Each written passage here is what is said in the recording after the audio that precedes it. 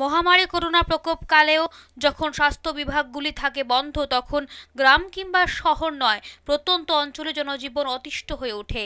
যদিও শহরের ক্ষেত্রে অনেকটাই আলাদা পর্যাপ্ত পরিমাণ স্বাস্থ্য বিভাগ থাকায় এবং যোগাযোগ মাধ্যমগুলিও পর্যাপ্ত পরিমাণে থাকায় স্বাস্থ্য পরিষেবা পেতে বেগ পেতে হয় না। জনগণকে। আর উল্টো দিকে যদি হয় প্রত্যন্ত অঞ্চল, তা আর বলার অপেক্ষা রাখে না। যে স্বাস্থ্য পরিষেবা থেকে বঞ্চিত হয়ে ধীরে ধীরে মৃত্যুর পথে এগিয়ে যাওয়া ছাড়া আর কোনো উপায় নেই জনজাতি অংশের লোকেদের। এমনই এক প্রত্যন্ত অঞ্চলের জলজন্ত চিত্র ফুটে উঠে এলো আমাদের লেন্সবন্দি হয়ে। তেলিয়ামুড়া মহকুমার মুঙ্গিয়াকামী স্বাস্থ্য দপ্তরের অধীনে নুনাছড়া এডিসি ভিলেজের প্রজা বাহাদুর মালসমপড়া এখানে একটি সুসজ্জিত হেলথ সাব সেন্টার রয়েছে বটে।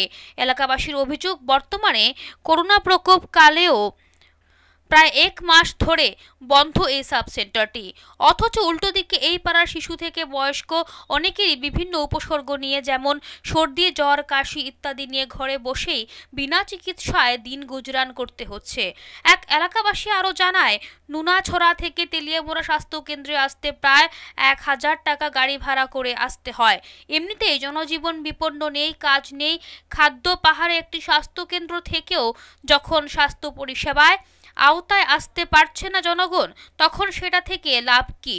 যদিও প্রতি সপ্তাহে তিন দিন, অর্থাৎ সোমবার, বুধবার ও শুক্রবার এই সাব সেন্টারটি সম্পূর্ণ খোলা থাকার কথা সকাল আটটা থেকে দুপুর বারোটা পর্যন্ত। কিন্তু এক মাস ধরে কোনো স্বাস্থ্যকর্মীর দেখা নেই এই স্বাস্থ্যকেন্দ্রে। অথচ বিভিন্ন রোগের উপসর্গ নিয়ে বিনা চিকিৎসায় ঘরে থেকেই মৃত্যুর প্রহর গুনছে এলাকাবাসীরা। আবার দেখার বিষয়ে খবর সম্প্রচারের পর স্বাস্থ্য আধিকারিকদের শীত ঘুম ভাঙবে কিনা? bo bo cabi setelang tham khang khai borok asano bo sanai malia khai kulum